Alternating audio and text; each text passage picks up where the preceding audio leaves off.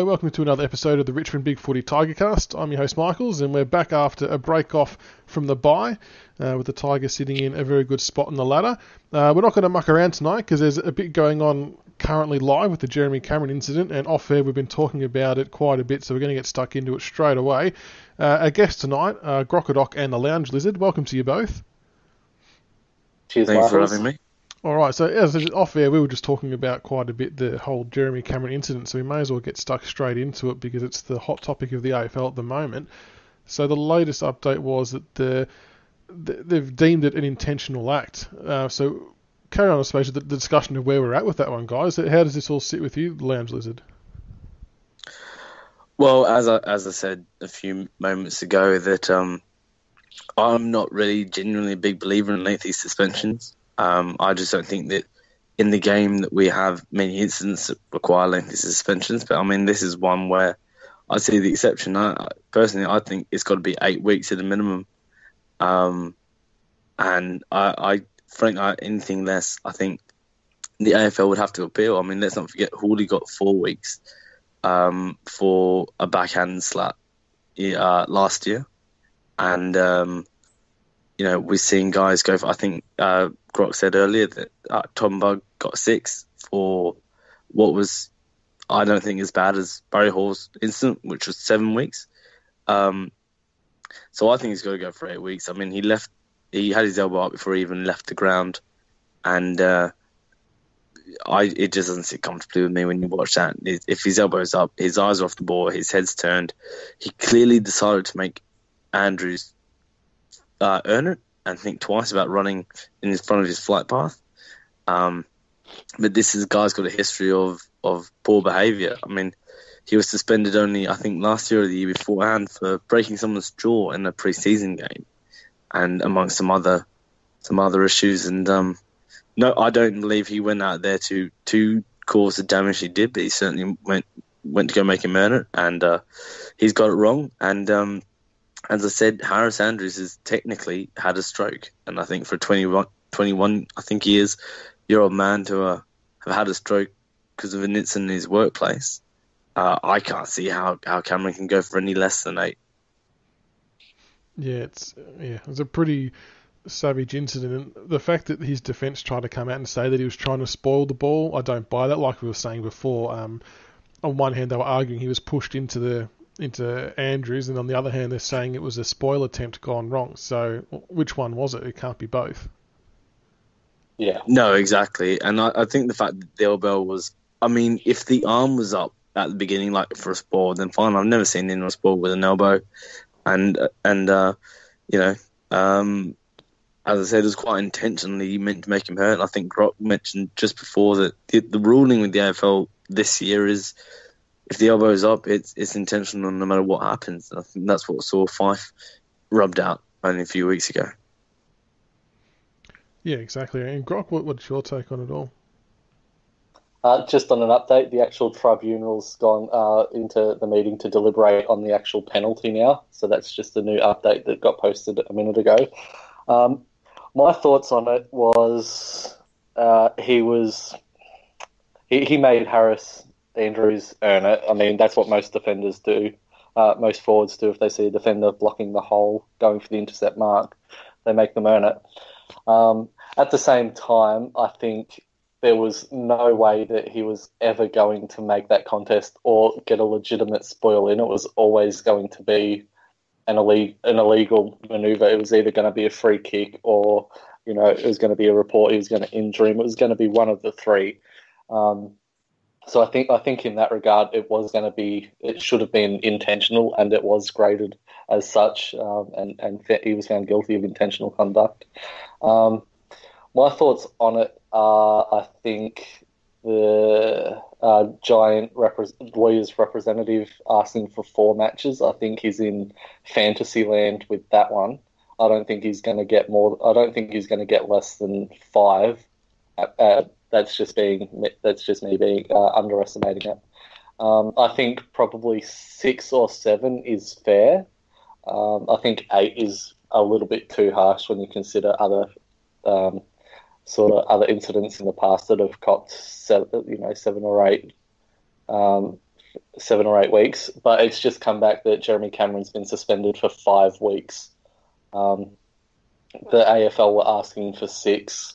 Cameron's uh, representative was asking for four, so it looks like they've just cut it straight down the middle and gone five. I think he's probably a little bit lucky with that five weeks. Uh, I reckon he's, I he's very lucky. I think that should be maybe one or two weeks more than, than what he got. Um, but that that being said, that's going to rule him out until you know round nineteen and round, uh, round twenty. So that, that's a fair chunk of, of game time to miss le- leading into finals if the Giants do make it. Given their form, that's no certainty for them either. So that could almost be season over for Jeremy Cameron. Um, given the, the GWS, uh, the AFL's love child, so to speak, do you reckon there's a potential of an appeal, or the AFL just going to accept what was handed down, given that they originally asked for six? I, th- I think I... they'll probably accept that. To be honest, like five weeks, I think you can probably look at it and say, okay, yeah, that that's fair. Um, you can look at it and say, you know, that was a little bit too lenient, and others might look at it and say that's a bit too harsh. Um, so I, I think five weeks for me personally is a little on the light side, but I, I, really can't see the AFL appealing that because there's really not much difference between five weeks and six weeks, to be honest. I, I mean, I think it's uh, irrelevant if the AFL wants to appeal it or not. I think it's all going to come down to the public backlash. Uh, like what, what happened with Hawley, if people come out and say five weeks isn't enough, this is bullshit, and then you know they'll appeal it, and then you know it will probably go up into the six or seven. Um, but if the public say that five is fine and they move on, then uh, I think it'll be quickly swept under the carpet. I, really think it's going to come back to how do the people in the talkback radios respond to this? Because um, it's no secret that, that junior participation numbers in sport around the globe are, are dropping. And uh, they're dropping drastically in Australia with Australian rules. And um, it's it's a problem. And, and you know, if, if, parents look at this and go, you know, it's not happening, um, then then they will appeal. I think it's going to be a big part of what they do with this. And we're talking about before how they uh, Jeremy Cameron's defence was referencing the Dylan Grimes incident with memory. Membrey. Do, do we think that they set a bad precedent by not whacking Membrey enough of a suspension? Because as I sort of pointed out, the only difference between the two incidents is Grimes was just lucky he didn't cop a severe injury compared to what um, Andrews has got. Do they need to sort of make sure they get all the other suspensions relevant so they can get a more accurate suspension? No, I don't really like, as I said before, looking back over um, previous uh, suspensions and stuff. I mean, the tribunal last year that, or the um, match review panel last year that would have suspended Membrey doesn't exist anymore, and it's a new system. I um, I don't really like looking back over previous incidents that were held down to a different set of rules by a different set of people. I think you have to take it to a either a year by year basis or um, you know, actually have some proper rules written in about this stuff. You know, like if you launch up with the elbow and cause a concussion, then it is no questioning four weeks in the minimum. You can argue it to be four weeks only, or it can be increased. But I think with this sort of stuff, there's got to have hard rules. You've got to be like, okay, I know if I lead with the elbow and I get the guy high, um, and I don't knock him out, it's a week. If I do, it's a minimum of four. And, uh, you know, if it's really bad like this, then they can argue down from potentially eight back to the minimum.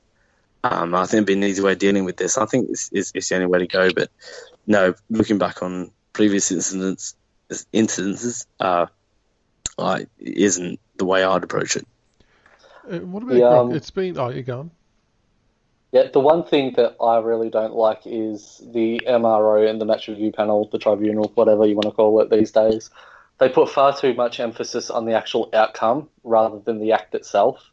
And like you can get two, you can get two identical um, sort of incidents, same motion, same same everything. But if one player gets a concussion, the one player misses for two or three weeks, whereas if a player doesn't get a concussion, they miss one.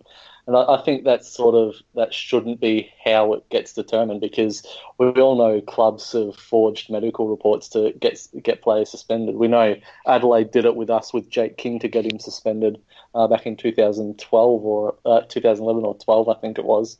Um, it's just that they need to look at the act itself before they look at medical reports, in my opinion, um, because the medical opinion, the medical reports, um, if you read those before you actually go through the act, the you break down the incident, it's it, it clouds the judgment. You're already going to have a preconceived notion of okay, it led to this. You know, it's got we're going to have to come down hard on this. It could it could be a number of factors. I mean, you have a look if someone did that to. Um, if if someone like uh, what Caddy did to McKay, I think was it McKay in round two uh, against the Crows, yeah, Uh, yeah. Yeah. Um, if if Caddy did that to someone like Paddy McCartin or you know um, Angus Brayshaw, who've had repeated concussion issues, he's more likely to get suspended because there's more they're more likely to get concussed. So I think it, it sort of works um, against players in, in one regard if they look at the med- medical reports.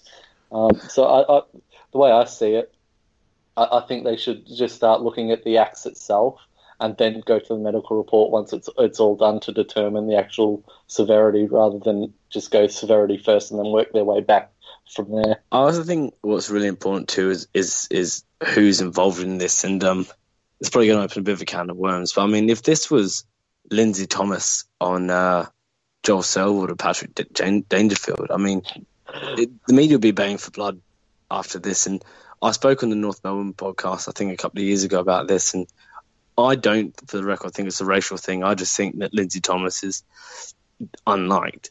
Um, for various reasons. I don't think it's a racial thing, and I'm not trying to push that agenda at all. But I did speak on the, on on their podcast a few years ago, and, and we all agreed that Lindsay Thomas is um, an easy scapegoat to go for. And if Lindsay Thomas had done this with the elbow up, I mean, they would be baying for blood, and, uh, Mhm. and that's clearly, I think, paid you know, gone in Cameron's favour that Cameron is liked, and. Uh, you know what's really interesting? I think Tom Jonas got six weeks two years ago for the Hill and Gaff, and Gaff only missed one week. Uh, and we know here with Harris Andrews, he's going to miss a minimum of two. And Michael Close, the former Lions player, had a similar incident in the VFL uh, with the outcome of the bleeding on the brain, and he's been ruled out for the season. And I think what people aren't acknowledging here is, um, whilst you know Cameron's going to be free to play in five weeks, I mean, no one will actually know for at least another 14 days whether Harris Andrews can ever play again. You know, I think that's a serious element that people haven't acknowledged here is that there's no guarantee that this kid's going to get back. Um, mentally, you know, he may not have the be able to run back with the flight of the ball anymore. You know, these things can scar players, and you know he could find himself delisted in two years' time because his his form just never recovered. Um, while while Cameron's still one of the highest paid earners at, at, the Giants. Um, and Ambassador Wise won't lose a lot from these five five matches, and, and that's why I think that, that, that five weeks can be very lucky. And I think if the uh, public cry like they would have been a, a Thomas or, or someone of that ilk, then uh, I think the AFL will, will, will come down on it, as I said before. What about the instant repercussions of the incident at that point in time? So Andrews goes down, is off the ground. It's we'll call a thug act if we want to use that term. I'm not too sure. Uh, and Cameron stays on the ground, free to keep playing, and you know he could kick another five goals, and the Lions are without their best defender due to a at what's now been judged a deliberate act. Is there any type of way to somehow make it even, whether it's a red, not a red card system, but some kind of system like that where the player who did the act can be punished on the spot, whether that's by a review team or something like that. I don't think the umpires on the ground should be given that job because they struggle to do their normal job as it is. Um, but it just seems unfair that you know the the Lions are at a huge disadvantage, not only for however long he's out for now, but for that moment in time in that game as well. And it, it could happen in a finals game one day potentially. I mean, I, I know that that's why they brought in the the double loading for grand finals to stop guys going out and smashing the shit out of the opposition. Um, however, uh, I think there's got to be a, a yellow card system. I, I maybe not necessarily red cards, but you know, a yellow card system where if you've done something bad, you can you're sent off for ten minutes. You can't be replaced. Now, with this incident, it would only send Cameron uh, Cameron off for ten minutes, but it'd be enough to level up for a bit. Maybe get the Lions players back in the head, and you could well have a a reviewer somewhere else who watches this incident and decides whether he's allowed to come back on or not. Um, I, I've been calling for a sin bin style system for for quite some time now, um, and uh, I, I think that, or even a red card system could work. I mean, there's no reason why it won't work, other than people say it's too much like soccer, um, or that the umpires are, as I ever put on Big Footy, just too shit now as it is to have that power. Um, I, I don't agree with that, and I think I think it's um, something that's probably needed in our game, and and they could well trial. I think quite I easily think- without too much hassle. a lot of people forget when they sort of can the idea is the red and yellow card system is done by all le- local leagues around the country, junior level, senior level, Mm. the works. They all do that exact system, and it, it seems to work and well as well as it can, I guess. But it's something I think it, it could be looked at because it's yeah, it's going to cost someone, well, a team a big game one day because of it potentially. Yeah, and I don't Yeah. think that. Um, Um, all right, go on. But you go. Oh, I was just going to say, I, I don't think that, um, you know, if an umpire gets an incident wrong and you sit out for 10 minutes and, well, then he's made a mistake and it's only 10 minutes, uh, you know, um, it's, it's not the biggest deal. And, uh, you know, you're right, it works. You know, it, it's pretty obvious what's going to be a yellow card incident and what's not. Um, you know, an incident like this probably could be a red. Um, but for most things. I mean, even if there's a player who's niggling someone else, has been told to stop and stop and stop, instead of giving a free kick away, send the guy for 10 minutes to cool down, you know, and this it can be used, and this can take a lot of uh, sting out certain things as well. Uh, what what I was going to say is I think they probably should adopt the a send off rule, be it red card, whatever, but it should only ever be applied to situations where there's been a report, um, a player's been Yeah, I can agree with that. Um, that's the only way, in my opinion, that a send off or red card rule will ever work is if it's actually been a documented incident uh, by the umpires. Um, and the player should go off uh, as well um, as the um, the send off rule go off as well if the player is injured. If it's not, if the if the um, player who's you know given away the penalty, like the injured player, whatever, if he get if he gets up and plays the game out, fine, you know, no no big deal. But if the player actually is injured and has to go off, then send the player off because it's totally unfair that a person who's deliberately, you know, taken a player out in a illegal contest um, gets to stay on the field while his opponent misses. I think that's wrong. Um, in a situation where play, would- I was in the say, what would you yeah. say? What would you say if the rule was, um, if you are reported, it's an automatic yellow, and that's an automatic twenty minutes off, regardless if your player comes off or not, or the other guy in the incident. If you put yourself in a situation where you've been reported, then you come off. Um, either way, would you would you support that, or do you think that that could be a bit too harsh? I'd probably maybe go yellow straight straight away. Give it maybe say half an hour off, a quarter of a quarter of football off to determine whether um, the person the infringes uh, the infringed party actually can come back on. If the player who's who was taken out can't come back on, then show them the red because it's it's unfair for them to come back on if the player they've taken out of the game out of the game can't Yeah. get back on. Um, I think it's twenty minutes to- for the concussion rule as well. I think. yeah, it's yeah, twenty Yeah. minutes. In regards to replacing a player, what I think should happen is if a if a player comes off injured and it's from a reportable off um, a reportable offence, they've been booked by the umpire. I think the team should be allowed to replace that injured player with one of the emergencies because one of their players got taken out illegally. They're down a man.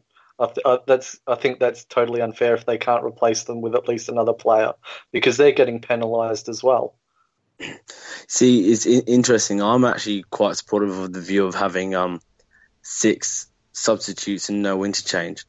Um, having your your your 18 on the field, um, and then having six substitutes, and uh, you know, a situation like this where if you get sent off, you actually can't be subbed. If you're sent off, you can't be subbed on. Where the opposition team can sub someone on, um, because I don't think you'd use all six in the game But if your ruckman gets sent off, then you can have a backup ruckman.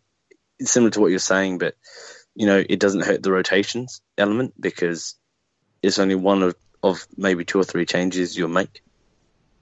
Yeah. All very interesting discussion points. I'm, I'm sure the AFL will discuss all that at some point down the track, and it, it might be something they should trial later on. But there we go, five weeks for Jeremy Cameron, and maybe a bit of a watch this space to see if it's appealed. Well, uh, we'll move on to the, the Richmond news. Well, it's not really news, but the, the review of the round 13 game versus Geelong, which seems such a long time ago now, given we had the week off. Uh, Richmond defeated Geelong by 18 points. Uh, boys, what did you think of the game? I'll start with you, Grok. Uh, I actually watched the game uh, with some Geelong supporting uh, relatives. Very good. Um, Must have been good for you. Obviously, yeah, obviously living in Geelong, it's always nice to sort of watch the game, especially when we get up, uh, much like we did the qualifying final last year. Um, the game was very scrappy for the first three quarters, much like it was in the qualifying final last year. Um, obviously, Geelong, there was a lot of discussion going on prior to the game. A lot of people were bemused about Wylie Buzza being a late out um, seeing as though in 12 of Geelong's 13 games up to that point, they've made a late change prior to the prior to the game. So I know there was a lot of sort of uh, skepticism about the actual reasoning why Buzza was dropped. Obviously, it was a tactical thing, uh, tactical change. They would have thought the rain and the weather were going to hit, and then you get to the ga- get the game, and it's it's reasonably clear. Obviously, there were still patches of wild weather, but I think Geelong probably screwed that one up and shot themselves in the foot because we saw how their long bomb into the for, into the forward line worked for them, um, only having uh, Tom Hawkins down there. Um, I thought I thought the game uh, we controlled very much like what they did to us down at the Cattery last year. Um, they just kept bombing long and high, and our intercept defenders um, just just kept marking everything. Obviously, Nick Vlastuin was absolutely amazing, uh, probably best on ground for me. Uh, Dylan Grimes was uh, very very good. Didn't get the votes on the big on the board that I reckon he probably should have. He, he probably be the only one on the ground that could knock Vlastuin off as BOG for me. Um, uh, Ryan Garthwaite really looked promising. Obviously, taking um, Tom Hawkins was a big deal for a first gamer, but I think he got overawed a little bit in the first quarter, but really stood his own in the next three quarters and towed Tomahawk up. Um, the game for me went pretty much as I expected, just grind and grind and grind for the first three quarters, as it's become our MO, and then blow them away in the last quarter. And obviously, Geelong's kicking didn't really help but I, I just think we were too good for them. Um, although they they probably rue their midfield dominance. We got smashed again in the clearances this week, um, and Geelong just couldn't capitalise. So I think that's one thing we really do need to work on. Yeah, I think we were pretty lucky there. We got hammered again in the clearances. That's always a big concern, but hopefully we'll address that sooner rather than later. Uh, and the Lounge Lizard, what about the return of Daniel Rioli? How did you see his first game back? Yes, I was um, not sure what to make of it, and I, I really didn't know where uh, his season was going to pick up. I was a bit nervous about he'd only played two halves in the VFL. Um, having not so long ago had a, a, a foot injury um, of my own, I, I, know how hard it can be to get back, albeit mine slightly worse, you could argue. Um, I, I, thought he stepped up and played fantastic, though. I, have got to say. I mean, he he didn't look like he missed a beat. Um, he doesn't look as fit as you would hope he would. I mean, obviously, um, but I think to, uh, to, to step back in and, and that final play in the final quarter where he uh, intercepted the contest on the on the broadcast side of the defensive week there, the flank, and then down the wing, and I think it was uh, I think maybe in Caddy who was involved in the play as well, who at one point stopped running because he thought the ball go out and stayed in. I think the one thing that's really underestimated about that play when you watch it is Jack's tap. Jack, a def Jack's tap, tap into yeah. space. You know, and that's one thing that everyone's going on about Riolin and amazing it was. But I mean, Jack's done that. I mean, so many times now. I mean, I think it was even in the final against Geelong last year, that final one where um, Martin did the don't argue and um and Stewart and run down. I think you know Jack did a tap into someone who kicked it down to Prestia in the goal square. Um, he's such a smart footballer and he does stuff like that, and it just went to show how much we missed him when he went down early against the Saints. Yeah. Um, and how even at his age that you know a lot of people think he might retire soon. I don't think so because even once he loses his his pace, his footy smarts is so much that we'll be able to utilize yeah. him, and um, I can see him playing quite quite deep into his career. He's not had many injury issues. He's not overly tall, overly athletic. You know, he works the ground, but um, you know his footy smarts is second to none, really and uh, I, I, that that play made it for me. But I think Rioli just stepped back in very nicely, and the question is going to be: Will he burn out after a few weeks? Um, I wouldn't be surprised if he's rested a little bit more, a few games here and few more VFL things there. But um, no, I, I, thought it, it, was a great win, and uh, I think it certainly set us up just nicely on the ladder and in terms of morale. I think for with our inclusions to come, uh, the second half of the year. I'm actually still very confident in, in what this season can, can produce for us. Speaking of the season so far, I mean, like this is the halfway point. We're travelling, I think, a lot better than what all of us expected. To be perfectly honest, I don't think anyone thought, or any Richmond people thought we were going to have a hangover like the Bulldogs had. But at the same time, I don't think anyone actually anticipated that we'd be sitting first in the ladder with 10 wins and three losses, um, with a, a, good percentage of 135. How have you seen the season so far, Grok? Is this where you expected us to be, or did you think we were going to be sort of middle of the pack, or where have you seen it so far? Uh, I thought uh, up till round 14, um, I had us uh, in my um, ladder predictor at this point of the season, 8 and 5. So um, we're going uh, better than I expected. Um, obviously, the the wins, uh, the losses that we had came against Adelaide in Adelaide, West Coast uh, in Perth, and the the Port Adelaide game, which I felt we we were we were massive chance at winning um, with that one, but we just got blown away sort of towards the end there.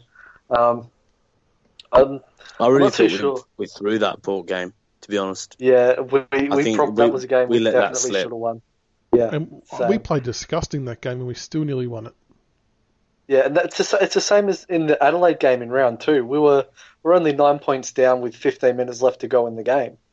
We we were in with a massive shot at that game, and then obviously um, Adelaide blew us out. But we we played absolutely atrociously in round two, and still almost knocked. Uh, we're still in with the uh, in with a chance to win the game with 15 minutes left to go. So people were saying, you know, Richmond got blown out. Richmond got blown out in that game yeah, we got blown out, but that win doesn't say much about Adelaide considering we played absolutely terrible and was still, you know, within two goals halfway through the last quarter. Um, so us being ten and three at the um, coming off the bye, I think that set us up with a really good um, sort of safety net. We should finals right now should pretty much all but be locked away. Um, I'd hate I, I hate to put the Moz on us, but at this point, you would you'd safely assume well, that finals. If anything happens, are on the cards. we're going to highlight this moment and play it back over and over, so the whole board knows where to come when if shit goes bad. yeah, I'll, you can I'll find them at the Crow skate park. Yeah, yeah, lynch mob me. Um, but yeah, I, I, think finals should be well and truly on the cards now. Um, so I think it's just getting through the next few weeks, trying to get legs in legs into players like Rioli and Prestia and, and load up for the final run home. Uh, obviously, we've got a few games left to go at the MCG, which should help as well. Um, but I, I, think this season's sort of been a massive tick, considering everyone, like most people, tipped us to have a, uh, well, most opposition supporters tipped us to have a Bulldogs like hangover, or you know, just sort of scrape into the top eight, given um, the tougher draw. But yeah, I, am I'm, I'm really happy with where we're sitting right now. I don't, I don't think we could have asked for any more than where we are at the moment. And speaking of the run home, our run home is we've obviously got Sydney this week, Adelaide at the MCG, Giants at Spotless, St Kilda at Etihad, Collingwood at the G, Geelong at the G, Gold Coast at Metricon, Essendon at the G, and the Bulldogs at the G.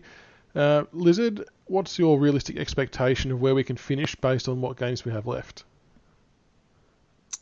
I see no reason why we can't finish first. Um, I've been a big believer in our season this year. I, have kind of seen. I thought after the flag that um, we, will go the way of Geelong 2007 as opposed to the Bulldogs of 2016.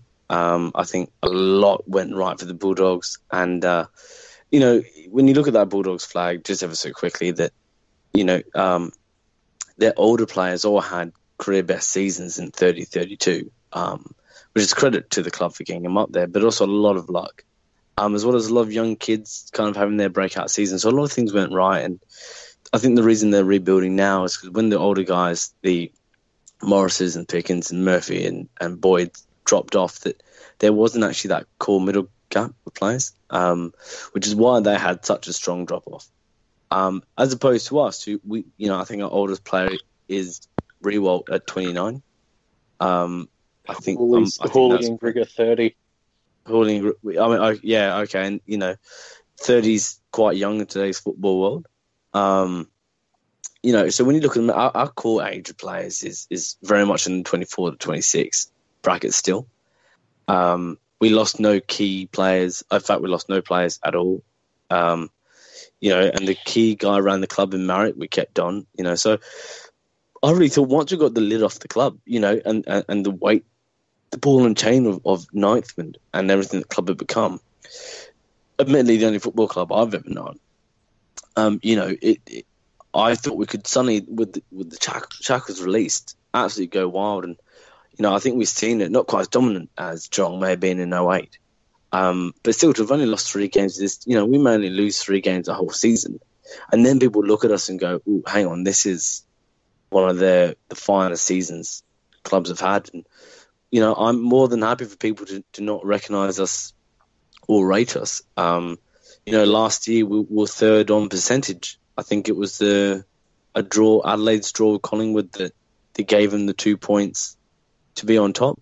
Uh, I think if it wasn't for that, that we would have been yeah massive massive Collingwood choke where they were up by fifty one points yes, I remember watching that, and I was um, I think I wanted Collingwood to win because I remember Adelaide were up and about where we were, but you know, I mean, we had a very very fine season last year, and uh, there was a comment on Big Footy I read a few weeks ago, and I think it sums up where we're at this year. That last year we we're playing three bad quarters, uh, so three good quarters and one bad quarter. Sorry, no, yes. With this year we're playing three bad quarters and one good quarter and still winning. You know, winning's become a habit yeah. now. Um, and once it's a habit, it's very hard to break. I mean, you look at guys like McIntosh. He looks like he knows what he's doing. I know he gets slagged off a lot for his role, but he looks like he knows what he's doing. He looks confident, and he always looks like he's going to win.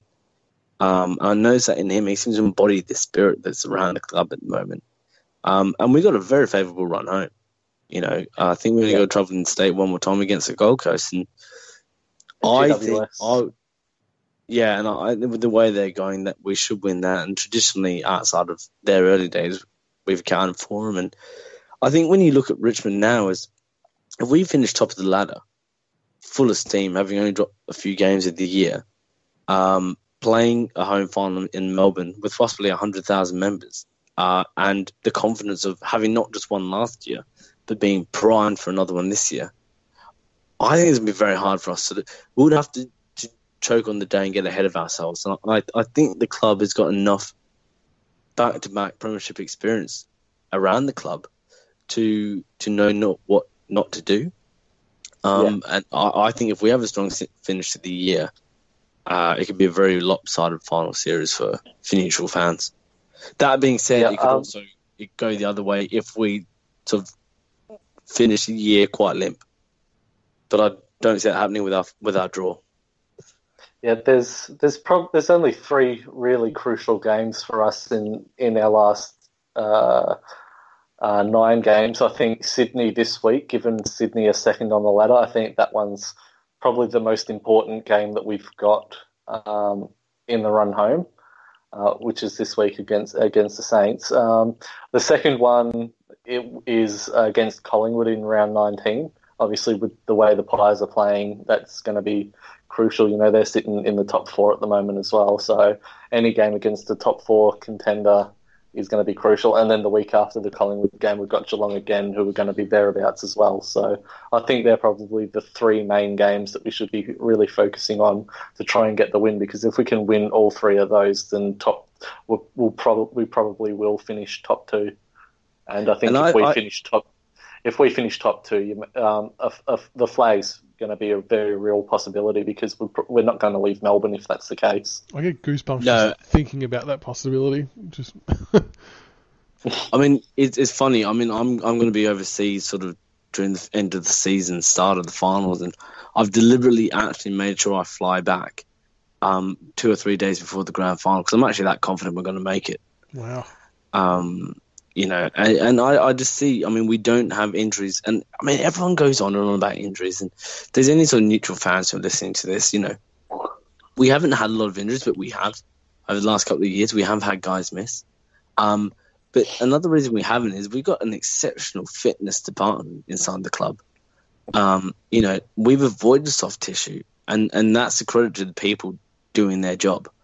Um, I think you know the injuries we've really had are some some some sort of unlucky ones. I think Jack got a poke in the eye last year. Uh, they've obviously, Rioli contact was based. foot. Press, yeah, Prestia's injuries pre-existing. Um, you know, and, and I've got a lot of faith in the fitness stuff that, you know, I mean, look at the way we're just running out games. Now, I think a lot of that's a mental thing. Clubs and players will think, shit, we know if it's close at three quarter time that this is what they do, and we're going to be thinking this is what we do. Um, and a lot of it's the fact that I think we are actually genuinely a very fit side. The um the whole Richmond don't have injuries thing I think is a load of bollocks. Um, we do have injuries. The only difference is our injuries are only one or two weeks. They're not the full long term injuries. So it, it, it all credit goes to our, our medical and fitness staff because their their player management um, strategies and everything are probably the best in the AFL at the moment. Yeah, Well, no, I agree. way, we're, uh, we're in a good spot. It'd be interesting to see what how the guys would respond if they were to finish first as opposed to um, finishing a bit lower on the ladder because I think it's a whole different ball game if you're the top team when it goes into the final series. But I think what you said before, Lizard's right that having the the monkey off the back and going through what we did last year, I think they're in a better mental space. And if we manage to secure home finals, we're going to be in a good, very good position to have another crack at it, which would just be. Plus, we're going to be amazing lucky as well, looking at possible matchups should we make the grand final. I mean, Geelong, it's been, you know, uh, seven years since their last grand final. And I'd be surprised if many players in their best 22 or squad actually have grand final experience these days. And they have known to have a bit of a tagline recently of choking. So they'll be very nervous on the big stage. You know, two prelims they've lost. Um, Adelaide, obviously, we're not going to play. Port, um, also have had a bit of a history of choking since prelim. Collingwood would have uh, very little to no grand final experience. Um, and Sydney, as we know, you know, are two heartbreaking losses recently, and they make a third in consecutive, you know, doubling years, and they'll be very nervous coming up against, you know, uh, Richmond and Melbourne, who, who will be confident on the big stage and play in front of 95,000 plus often enough that I don't think it's actually gets to the players. I think it's been one of our greatest strengths over the last couple of years is the big blockbusters that the players are used to that crowd. Um, so there's going to be a lot of teams with a lot more to lose than we do if we come on grand final day, and and and, and they, they could choke and bottle it for that reason. And I think we're very lucky that we're not um, potentially playing at a, Hawthorn or a um, you know a Sydney of a couple of years ago, perhaps, or even the Bulldogs who who won one and running the emotion, um, or an Adelaide hell bent for revenge. Um, th- whoever we play, I think there's a lot more things that are going to go in our favour just on the experience of it. Yeah, it's going to be interesting to see how it all plays out. I hope you're right. I really do. Like I said, I was getting goosebumps even just thinking about the fact of potentially being there again. And um, I'll quite happily leave think- my two or three week old son home whenever he's born to go to the grand final. So that I've already made that decision if it comes down to it. What do you think it would say in Richmond's history um, when people look back on Hardwick, who took over? I think Rock and I spoke about this recently, actually, over a beer, but um, you know, took over what was deemed the worst list and worst since Fitzroy. Club with no money, broke, did his best to rebuild, wasn't really taken by the fans, I had some bad decisions, nearly got sacked, and then if he ended up a a, a two-time Premiership coach, it would be just a remarkable turnaround. And um, it, it's fascinating to think that 18 months ago, I, I didn't think Hardwick would have a job, let alone be a you know a uh, Premiership coach. I think it'd be really interesting to see how, how he's remembered in Richmond history. I think um, just the fact that he's got the one flag, he's going to go down as a, as a legend, given that after 2016, you would safely say that 90% of the supporter base kind of figured he'd be out the door by the bye, given the form we had. Um, and to turn it around just that instant and to own up and admit his mistakes and make all those changes, it's just been a phenomenal thing to do. I think he'll probably end up being seen by Richmond supporters the same way that Bomber Thompson's seen by Geelong supporters. You know, took over a club uh, that was sort of uh, in the doldrums, was thereabouts. You know, hadn't really had any any success for you know a number of decades. Um, got had a bit of a bad run with injury and you know bad luck heading into 2005 2006 and then almost almost got sacked. Uh, Frank Costa came out and said stick by Thompson, and then we all know what happened in 2007. So I think uh, from from that standpoint, I reckon we could probably say Dimma is Richmond's version of what Bomber Thompson is to the Cats. And I think it'd be interesting in that regard too that by Thompson's sort of ninth or tenth year was quite clearly burnt out with the job.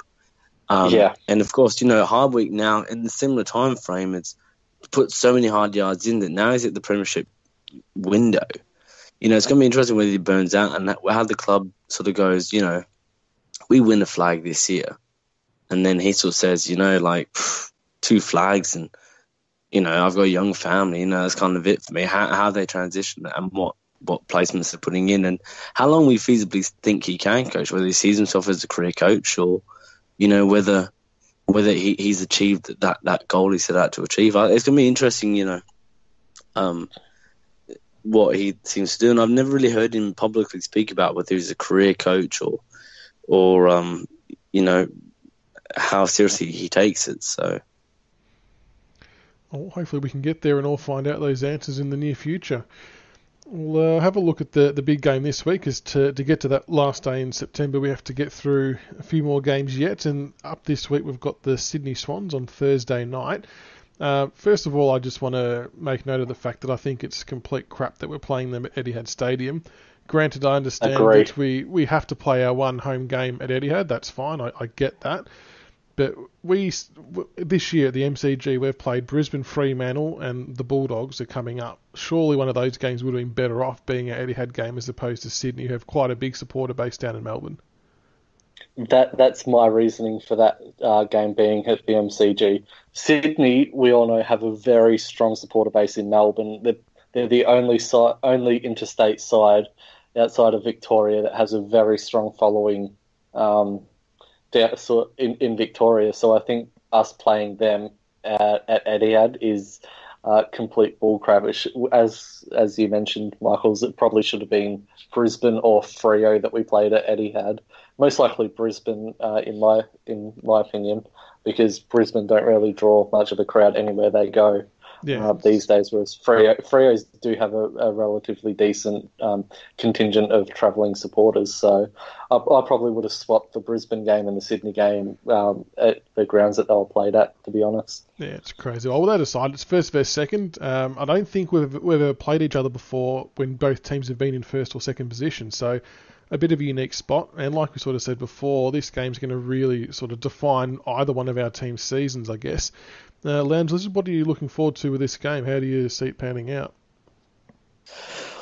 I um I think we'll win this, but I think what's going to be a great matchup is that I saw a statistic. Um, I think it may have been on, on, on the radio that Sydney actually um, statistically will bring you down to their level.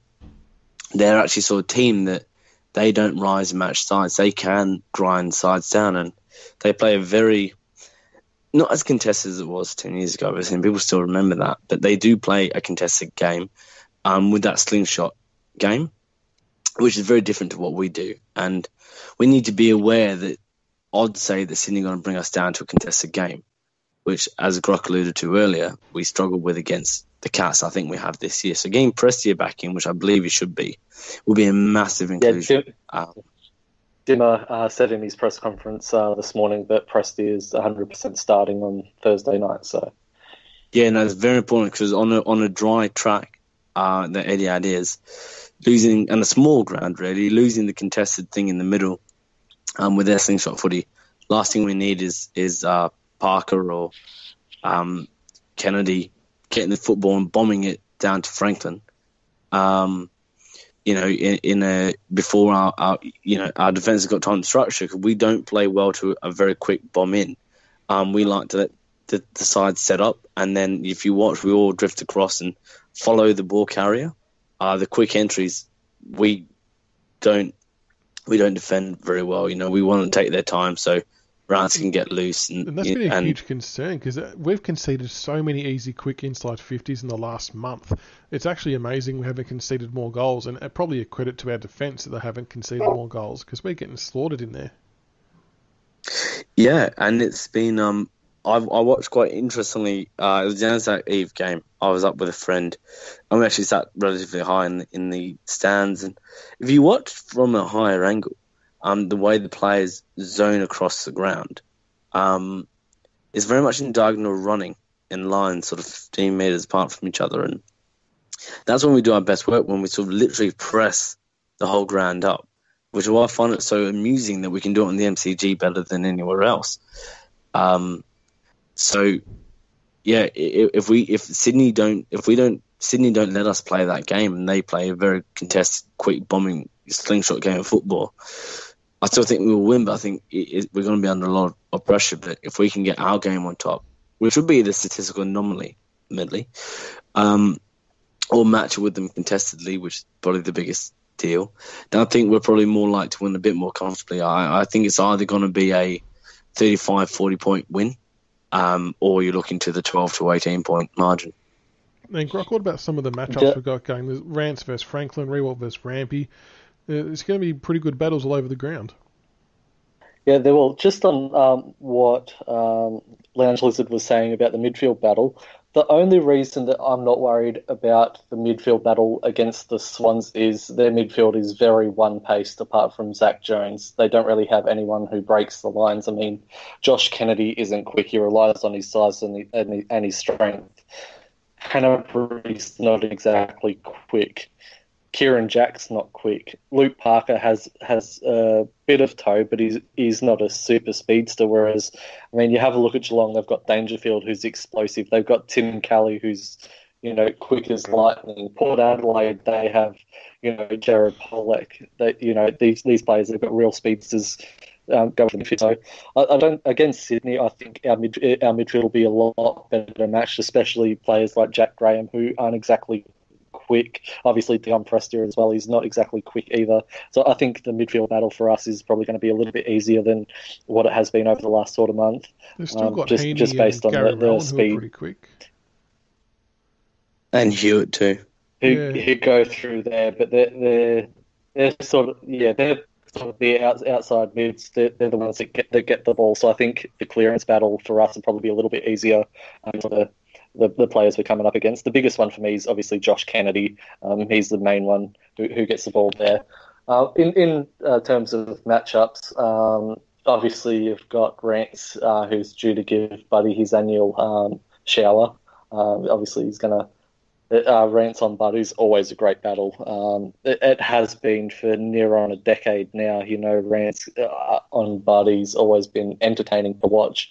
Um, one always seems to get a hold of the other for a half of football, and then the other kicks in. So there's really no true dominance either way. I remember the game a couple of years ago where Buddy kicked five, and people were still saying Rance had the best of Buddy. So it, it just shows you the quality of the battles there. Um, obviously Heath Grundy on Jack Riewoldt. That's that's going to be um, that's that's going to be given. Um, I think obviously if that's going to happen, Jack's going to have to get on his bike because we know Grundy it uh, much prefers to be one on one in a in a strength contest than having to get on his back because we know he's not exactly a spring chicken and and doesn't really have the athleticism to go with the more mobile forwards. So obviously that if Jack gets up and, and starts playing up around the half forward line and pushing up, that, that's really going to expose Grundy. Um, the, the main one for us that we need to shut down personally is Jake Lloyd. He sets Sydney up so well from halfback. He's often their distributor, uh, getting 30, 35 possessions from halfback, and his field kicking is is probably one of the best field kicks in the AFL. So, obviously, if we can get uh, maybe Daniel Rioli or even Jacob Townsend to come in just to sort of man up on um, and Lloyd make him accountable, you know, just just have a real physical presence on him. I think that's really going to set us up as well. I think we have to be very careful of Callum Sinclair as well. Um, he's, Yeah. in- he's having a fantastic season, and so is Nank for the record. But when we, there's an interesting um, thread that Serge had put up uh, uh, that pointing out that Grigg isn't contesting in the ruck the same way that they were treating him as undersized ruckman, and now they're not. Um, and when we rotate Nank off, if Grigg is going into the ruck, um, he's going to get soundly beaten by Sinclair, and I think we've got to be really careful that Sinclair doesn't have a have a day out um, when when Nank is resting. It's uh, going to be interesting battles all, all over the ground. And the other one, I mean, you said before that Prestia is probably likely to come back in, as Dimma's said. And that might mean that Caddy gets to play forward a bit more, which is probably where he's most dangerous. So that gives us another a tall avenue as well to maybe help keep Rampy accountable as well, because he loves to intercept marks. So that's probably going to be a very vital inclusion for us. Obviously, Astbury back too helps. And there's an interesting stat that if Prestia and Astbury come in for Garthwaite and Higgins, that's just an assumption, that we would only be two players away with Bachar Houli and Townsend from having our entire premiership team back together playing for the first time since the grand final. And, that, and that's never been done in the history of the AFL. Yeah, which No, is no, that's I fascinating. That's won the premiership. Yeah, yeah. No team that's actually would- won the premiership has ever fielded that same team again together. No, and I wouldn't be surprised if Townsend comes in this week as well, and uh, we're only the Houli injury away. Um, But I suppose, of course, yeah, I, I don't see Short being dislodged somehow. no, but, God, no, um, he's been really good. But that whole um, premiership team not playing together, I suppose that sort of makes sense when you think that Richmond is the only club in uh, VFL AFL history that's never made any list changes to their premiership side for the following season. We didn't lose players. You know, that I didn't know that. I think yeah, we're the only club that's ever done that that Wow, hasn't made Okay. uh, things. At least that's what I was reading somewhere on the Herald Sun a few weeks ago. So it's another little factoid. And Jeez, it's probably- your first mistake was reading the Herald Sun, though, wasn't it? What's, yeah, so probably probably a steaming pie. Is that all you get? uh, Is that all you get out? Cry away. Yep, totally. Just while we're talking about individual players, a, a shout out to Shaun Hampson, who has announced his retirement today, effective immediately. Just obviously struggling to overcome the back injury. Uh, I know he obviously didn't play a lot of games for us, but the games he did play, he, he left, uh, he put everything out into the field. He played with obvious injuries time and time again, but just refused to come off and did his, his best to help the team out. So thank you, Shaun, for your, your services, and hopefully you can get your back right because your the rest of your life with your kids and family is much more important than any kind of football career. exactly. Yeah, no, agree completely. I think he's been much maligned on the board. Um, it's probably our only shining light, 2016, which admittedly may say more about that season um, than anything. But yeah, I think uh, he's been a great servant and, and he's done well for Yeah. 35 games in our jumper. He's uh, picked up a very beautiful wife and a good bank account. So I wish to be him. yeah, and you only I you think- only have to look at um, Ivan Maric when he made his retirement in his speech. He was pretty emotional when talking about Hampson, so he's obviously had a very big impact around the club um, behind the scenes that a lot of us wouldn't know about. So he's obviously much loved as a clubman. Um, yeah, and he, he gave Mm, his Tim best for us, Edwards put all you can something up very similar Yeah, on Yeah, I, I think I think a lot of people forget just how good Hammer was in 2016. Obviously, we all know his limitations. He wasn't the best, you know, contested mark. He wasn't the greatest kick or, or skill wise. But um, one thing you, you you can't fault about him was his effort and endeavour was absolutely incredible. Um, his ruck work was really, really good. It's probably the best tap ruckman we've seen at Punt Road for quite some time. Um, but I, th- I, think 2016 he really managed to work on his deficiencies. He was getting back, uh, he was floating down back, taking contested marks, helping out, you know, Ranson that down back. So I, I think you know people who are shit canning him on the board just need to realise just just how good he actually was for us in the short short amount of time he actually he actually played for us. So and let's not forget, um, he was an emergency in last year's grand final. I mean, of all the yeah. players we could have picked in those three spots, I mean, he was one of them. I think that says enough of, of you know, he, he was coming good, I think, before the setback in the preseason. Yeah, agree. Definitely agree. And it's just one of those what could have been. I mean, we always, I mean, I in particular always scream out that we need to give Nank a bit of a chop out, and he would have been the perfect guy to do that. Um, with his experience and his ruck work, but we'll never get to see it, unfortunately. But either way, we wish Shaun all the best in what he, whatever he does in life after football. Agreed. All right, before we yep. wrap up, we'll get a, a, tip from you both for this week's game on Thursday. So, Grock, I'll start with you. What's your tip, including margin? Uh, my tip is Richmond by 17 points. I think it's going to be a pretty close game. Uh, won't get too much of a blowout either way. I think. Uh, I don't think, but um, yeah, I, I, just think we'll probably grind them out in the end, sort of like we did to Geelong. And Lounge Lizard? My tip is that Grock's going to hit the uh, Carlton Dry something chronic and roll down to the local cryo RSL and uh, just do his, his finest work material. Um, That's an unbackable favourite, yeah. isn't it? I yeah, like I'll, caviar odds. Put your house on it. well, I've, I've been put, put I've been put off red wine Yes. hey, I've yes, never um, not even asked about that story yet. I, I thought about it, but I thought no, I'll let it go. it is. It is. I think becoming folklore uh, within the site. We'll um, have to um, get the three of you on one but, day to give us a bit of a recount of what happened. There is. I'll flick across a image of me that morning uh, to you. Maybe not onto the board. Uh, yeah. So I might flick across.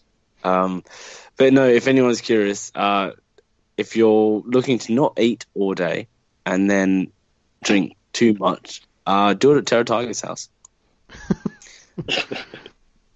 I look forward to seeing this photo then. Um, uh, oh, what, what, was your tip? I think we got a bit sidetracked there. What was your tip for the game?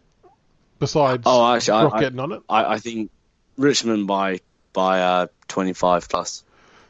Yeah, I reckon I'm with Grock. I reckon it's going to be close. Also, Richmond between somewhere between 12 and 15 points. But I think it's going to be a cracker game either way. And as much as I hate Thursday night games, I'm glad we're a bit earlier this week than the Sundays we've been getting the last few games. So, uh, Grockadoc, the Lounge Lizard, thanks so just, much for coming on, guys. Oh, you going to so just just before we go, Michaels, um, I have a quick roast if that's all right. Oh, yep, yeah, okay. Just yeah, um, I'd just like to roast the AFL umpiring department um, obviously with uh, the uh, sort of uproar there was about uh, umpiring uh, West Coast games in Perth. Uh, how does the AFL rectify that situation? Uh, they schedule three Western Australian umpires to officiate the West Coast Essendon game at Optus Stadium. The, the free kick count at half time was actually 17 to 9 at the end of the game, the free kick count was 33 to 17. So West Coast in the second half of that game got almost as many frees for that for the second half that Essendon got in the uh, got for the whole game. So I, I, think they, they, they played that pretty poorly. So that, that that's pretty much my roast. I think that they did a pretty shithouse job of sort of dispelling any sort of criticism that they, that was directed their way. Yeah, I, even watching that game, I think I said to someone that Essendon fans would have every right to be ropeable about the uh, the umpiring in that game, despite winning it. It was disgusting. Yep. Oh, did you have a mini roast while we are at it, uh, Lounge Was there anything you wanted to add in the way of roasting? No, I mean, I, I, I was originally going to roast the um, AFL on the Cameron incident. Um, had the news come through a bit later, but we've we've covered that. So I give a bit of a toast to wrap up on a light note. Um, you know, I, I think the toast goes out to all the members who signed up this year. I mean, 95,000 is remarkable number, and uh, and it's still growing. And uh, you know, one thing we're not is bandwagoners, and uh, I think we had 80,000. I think last year before we even looked like winning a flag. So it's it's been remarkable, and I think the has paid off. It's um it's just great to see. I mean, the fact that we're just you know in the strongest position we can be, and I think really pushing Collingwood as undoubtedly the biggest club in Australia. Absolutely, and hopefully, with any luck, we can crack the hundred thousand this year, which would be an exceptional effort. So, if you haven't signed up yet, make sure you do and uh, join the Tiger family in an official capacity and you know become an that's richmondfc.com.au forward slash membership is where you want to head to. That's it. Uh, absolutely. Oh, I'll say our Stig, but we haven't seen him since grand final. Who's that? He hasn't been on since no. December. Yeah, uh, no. Yeah, yeah he hasn't been on since December 5th or 7th or something. No, I think there's bigger fish to fry now than us, unfortunately. yep. yeah, that's all right. It's understandable after winning a flag. I'm sure there's a lot of other things going on, but hopefully we get an official yeah. back on the board at some point because I thought that was quite good interaction. But um, yeah, regardless, if you're not a member yeah. yet, sign up and help us get to 100,000 just to really jam it up the uh, opposition supporters' nose because they would not be happy with that at all. Collingwood. the salt would be delicious. anyway, all right. Well, uh, yes, and the Loungers, thanks so much, guys, for coming on and for jumping straight into the Jeremy Cameron discussion. I know that was a bit, uh, well, it wasn't really on the agenda as such, but it was a hot topic and it deserved to be spoken about. And we'll see uh, see what happens with the five weeks. But yeah, thanks again for your time, guys. Thanks for having me, Michael. Thank you for having me. And until next time, go Tigers. Go Tigers.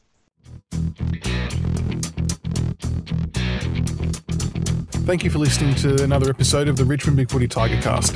Be sure to subscribe to the podcast on iTunes and YouTube so you can follow all the roast and toast, the reviews and previews, and all topics Richmond. Also, keep an ear out for our special episodes of interviews with past players. Go Tigers.